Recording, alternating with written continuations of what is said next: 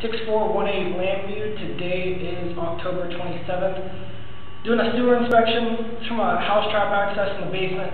Pushed out now to the main tap in. I'm going to pull back from here. It's about 55 feet to the tap.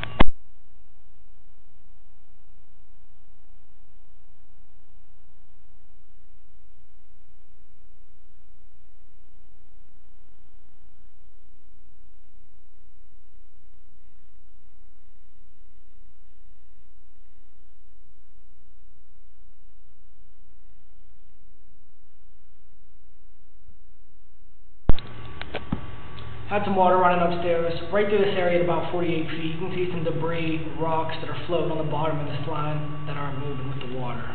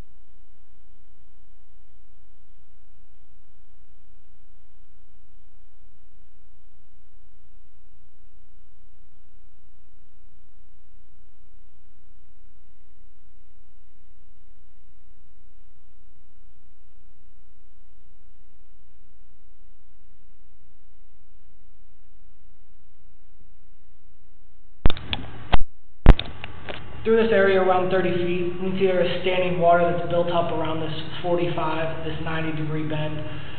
Some standing water in this area due to elevation. Going to continue to pull back.